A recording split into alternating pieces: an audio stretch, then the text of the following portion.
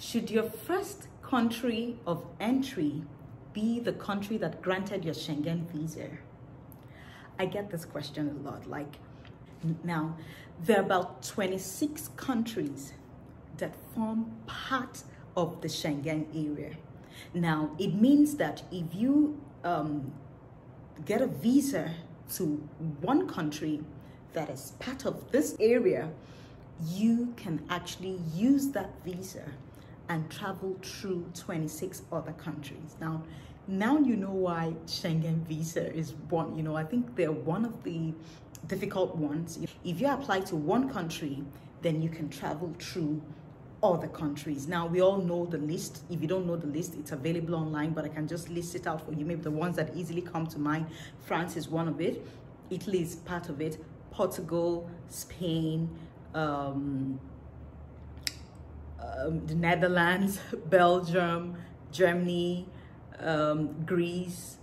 Uh, there are 26 of them. So it means that if you get a visa to visit one, if you get a visa to one of these countries, if I apply to France, I can visit Italy based on that um, visa that I have obtained and other countries, 25 other countries other than the country that I have applied to. Now, if you want um, details, if you want to know how you can successfully apply for a Schengen visa, I'm going to share a link to the video, so check the description box and then you will find everything that you need to know. I broke it down as in step by step guide. So you do want to watch that video because it is very useful, you know.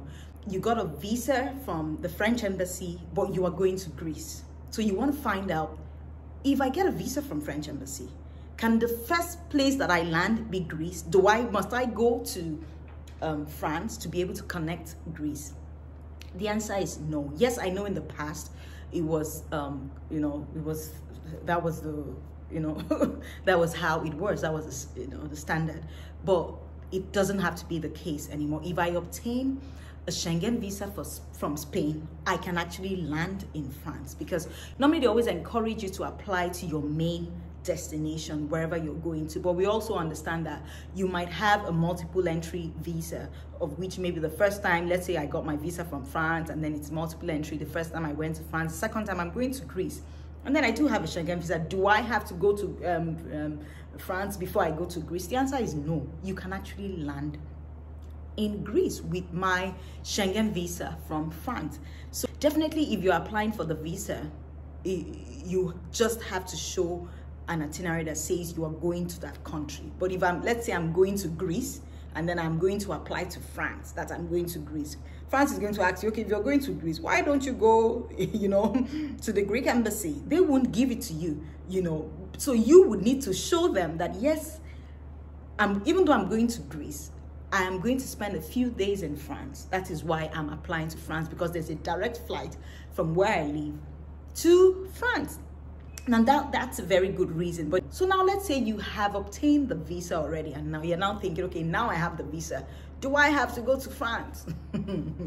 well, you know, you don't have to go to France really. That's what it is. But it is always good for just for good relationship, you know, purpose. If you're going back to apply for a visa to, uh, to that same um, country, they would take into consideration your past activities in the Schengen area. So if you got a visa that you said you were going to France and then there's no record that you actually went to France, yes, you might say, oh, they might not know. Well, good luck. But I always just feel, you know, just for good um, relationship purpose, touch base in that country, even if it's just for a few days. I know I say I know I say you don't have to do it, but if you know that you will need them in future i just realized that most times once people get what they want they think okay they are done you know they just run and go. You forget that you're going to come back for a renewal especially with this uh, all these embassies that probably only give you maybe like very short-term visas. Now you do want to touch base. In fact even if it's just for a few days your first point of entry does not have to be the country that granted your visa.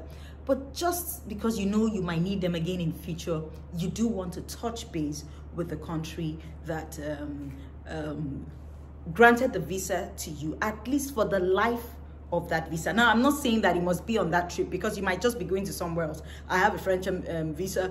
I am going to Greece. we just have maybe it's an emergency that happened i'm going to greece it, it might not be comfortable convenient for me to do greece and then do you know maybe like you know france at the same time but for the life of that visa i would like to touch base in france just so that next time when i go to them they would um you know consider I me. Mean, i know these people can really frustrate you. They can they can tell you no and not you know not even give you any reason that makes sense to you. So just for good relationship purpose i would say touch base in the country that issued your visa. But are you required you know, it's um, the answer is, you know, not necessarily so. I hope that was helpful.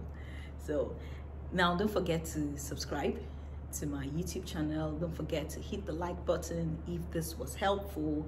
And um, don't forget to watch the video if you want to know how to obtain a Schengen visa. It's very useful. I'll include the link.